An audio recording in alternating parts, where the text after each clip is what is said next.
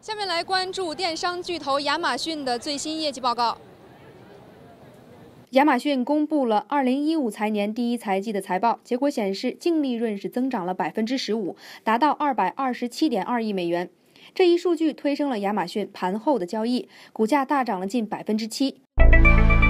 一些投资人和市场分析师表示，在亚马逊股价持续攀升之时呢，共同基金持有亚马逊股票的数量是大幅的下滑。这意味着大盘基金经理认为啊，亚马逊当前的股价被市场高估。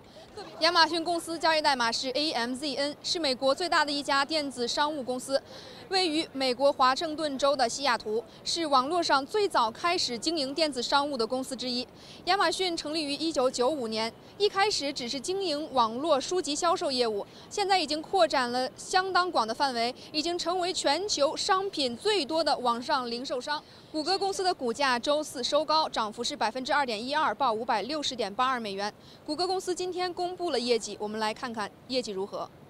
谷歌公司盘后的股价是大涨了百分之三点五六，因为公司的业绩利好。二零一五财年第一财季的净利润为三十五点九亿美元，每股收益是五点二零美元，好于去年同期。